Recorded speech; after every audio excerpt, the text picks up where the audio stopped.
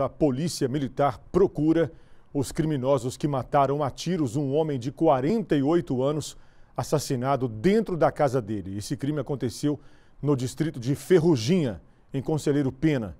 Segundo a polícia militar, a vítima é José Cândido Pereira. Ele foi atingido por diversos disparos de arma de fogo. Um parente contou aos policiais que dois homens chegaram armados usando roupas de cores escuras, capacete e colete escrito Polícia Civil.